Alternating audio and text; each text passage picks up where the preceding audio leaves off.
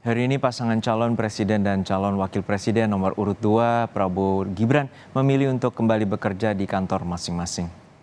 Selasa pagi Gibran kembali masuk kantor setelah Senin kemarin menggunakan cuti kampanye. Menurut agenda wali kota, hari ini seharusnya Gibran ke Semarang, Jawa Tengah, namun Gibran datang ke Balai Kota Solo terlebih dahulu untuk menyelesaikan sejumlah pekerjaan.